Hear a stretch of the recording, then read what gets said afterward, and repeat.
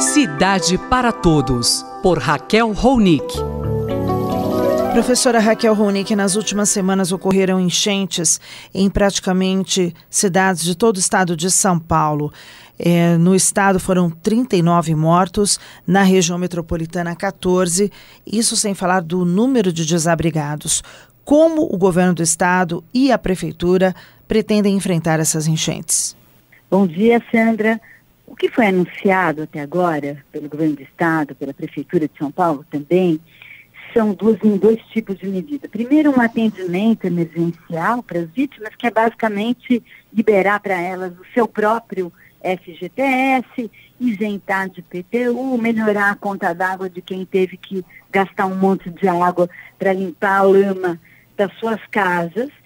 E, por outro lado, anunciar obras, basicamente obras de piscinões. Quer dizer, a, a, região metropolitana de São Paulo tem 31 piscinões, 22 só na capital, e o que está sendo anunciado é basicamente fazer mais piscinões ainda e genericamente, num aceno em conjunto com é, o governo federal, falar em obras de contenção de encosta ou lançamento de obras produção de moradia via Minha Casa Minha Vida, mas isso ainda de uma forma absolutamente genérica, sem dizer exatamente quanto, onde, como, etc. Sandra? Professora, e essas medidas vão resolver o problema? Vão conseguir evitar as enchentes nos próximos anos? Esse que é o grande problema dessa resposta, né?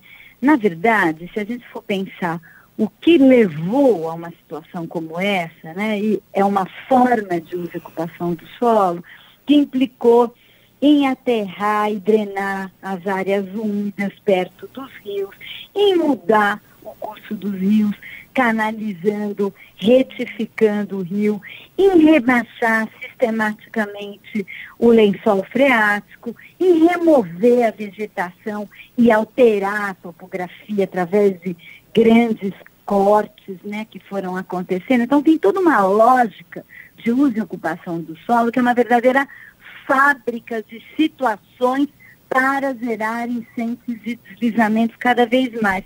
E o que é mais importante e impressionante é que um estudo que foi feito pela, pelas equipes da Unicamp e da Unesp, com recursos do Ministério de Ciência e Tecnologia, fez uma espécie de projeção do que, que vai acontecer na região metropolitana de São Paulo nos próximos anos se o modelo de uso e ocupação continuar o mesmo.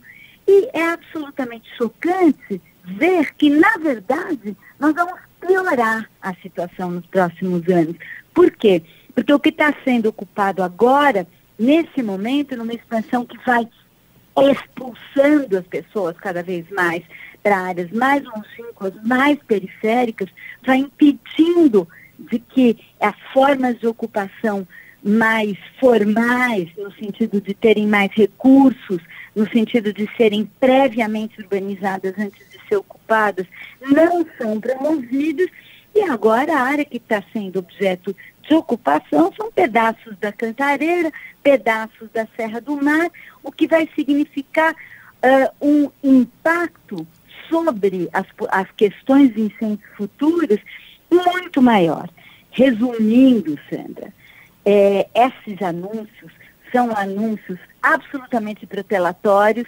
As obras de piscinão, sim, elas retêm a água, mas a gente já nas últimas incêndios, aquelas que aconteceram no início de março, que até um piscinão, que era um dos maiores, o Guaramiranga, na Vila Prudente, que acabou de ser entregue, ele não andou também, ele encheu. Então, na verdade, obras de piscinão são sensacionais para gerar obra, metro cúbico, para fazer inauguração, mas a questão fundamental, que é uma atuação na área de moradia, na área de uso e ocupação do solo realmente preventiva, não está sendo feita e sequer foi anunciada, Sandra. Eu sou Sandra Capomatto, você ouviu a professora Raquel Ronick, da Faculdade de Arquitetura e Urbanismo da Universidade de São Paulo.